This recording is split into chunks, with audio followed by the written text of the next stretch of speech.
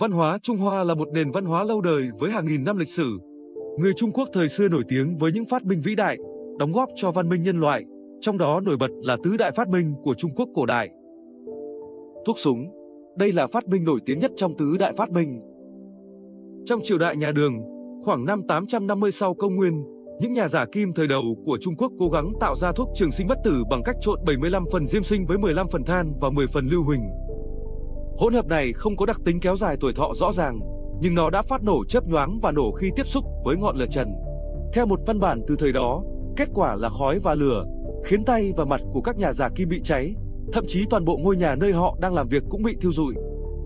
Sau đó, thứ bột này được đưa vào sử dụng để làm những mũi tên lửa và cả súng phun lửa. Mặc dù khá nguy hiểm, nhưng các nhà giả kim bị cuốn hút bởi hỗn hợp này và họ tiếp tục thử nghiệm nhằm tìm cách tạo nên vụ nổ thật mạnh mẽ. Mặc dù hỗn hợp sơ khai không có sức công phá mạnh như thuốc súng hiện đại nhưng nó vẫn có thể cháy mạnh và phát sáng.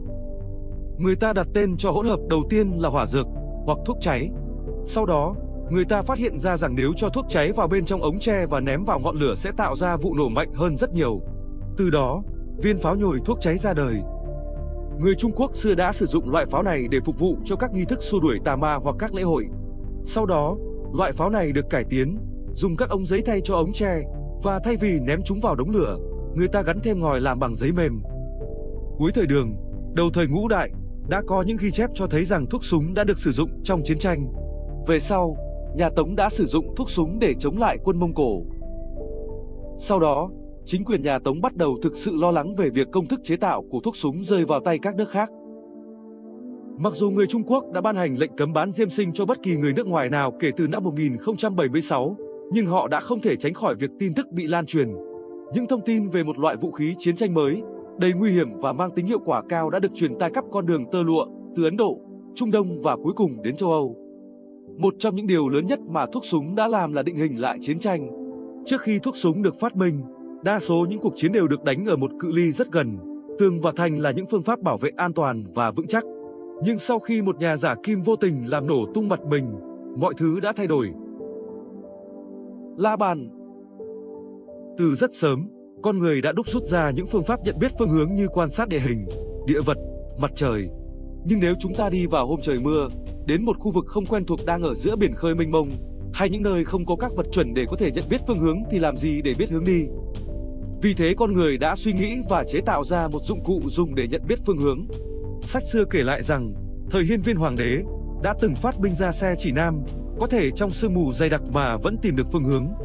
Đây có khả năng là nói về những phát hiện sớm nhất về La Bàn. Nhưng người đời sau dựa vào những ghi chép trong sách vở, nhiều lần muốn chế ra xe chỉ nam, nhưng không có cách nào thành công.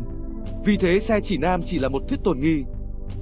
Vào thời Xuân Thu Chiến Quốc, người Trung Hoa tìm ra được từ lực và đá nam châm, sau đó phát minh ra chiếc la bàn đầu tiên, được gọi là kim chỉ nam. Kim chỉ nam ngày xưa rất khác so với la bàn ngày nay.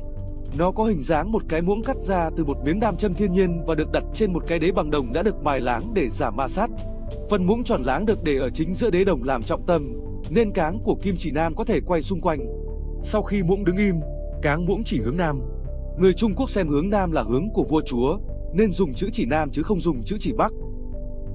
Đến thời Bắc Tống, khoảng thế kỷ 10, người Trung Quốc đã bắt đầu tìm ra cá chỉ nam, dùng sắt cắt hình con cá, rồi được từ hóa. Khi được thả vô nước, cá chỉ nam sẽ lơ lửng trong nước và nằm theo trục Bắc Nam. Tuy nhiên từ tính của nó yếu nên hiệu quả chỉ nam cũng không được như mong muốn. Dần dần người ta thay cá bằng một cây kim bằng sắt đã được trà sát trên một nam châm thiên nhiên. Sau thế kỷ 11, người ta đã bắt đầu biết sử dụng la bàn trong ngành hàng hải. Làm giấy Có thể bạn không tin nhưng sự thật người phát minh ra giấy là một hoạn quan của triều đại Đông Hán, tên là Thái Luân. Thái Luân xuất thân nghèo hèn, không biết do nguyên nhân nào, khoảng năm 75 được tiến vào cung làm thái giám khi mới 12 tuổi. Ông từ địa vị rất thấp của một hoạn quan, cuối cùng đã trở thành thượng phương lệnh, uy danh hiển hách, phụ trách quản lý phường thủ công trong hoàng cung. Thái Lân rất có tài học. Trong học tập, cần phải viết, ông cảm thấy không có một loại giấy nào tiện sử dụng. Vào thời ấy, trúc, gỗ, lụa mỏng, giấy bông tơ là những vật liệu được dùng để viết. Nhưng chữ viết trên những loại vật liệu này rất nặng nề, giá lại rất đắt. Có thể phát minh ra một loại vật liệu viết chữ tiện lợi, dễ dàng được không? Ông trước hết nghĩ đến vải rách và lưới đánh cá hỏng. Những loại này người ta bỏ đi rất nhiều, có thể lợi dụng đồ bỏ đi, thu lại để làm giấy. Sau đó ông lại nghĩ đến vỏ cây và sợi gai.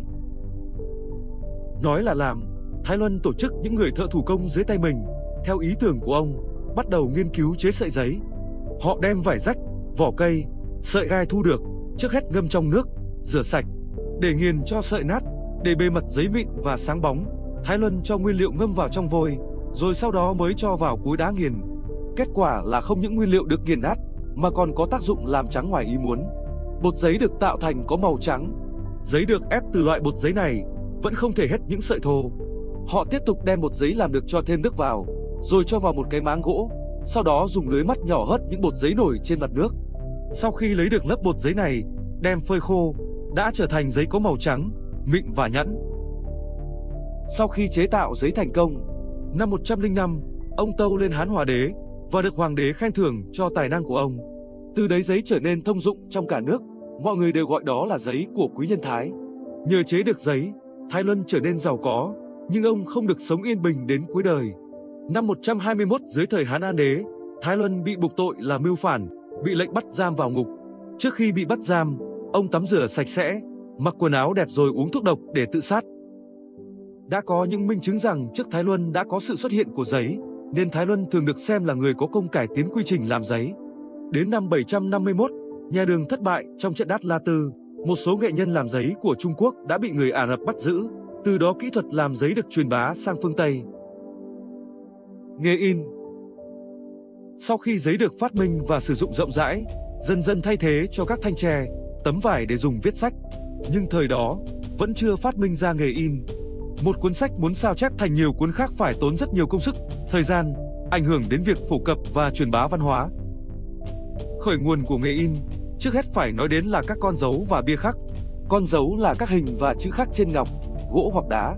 Chúng xuất hiện sớm nhất vào thời Xuân Thu Chiến Quốc.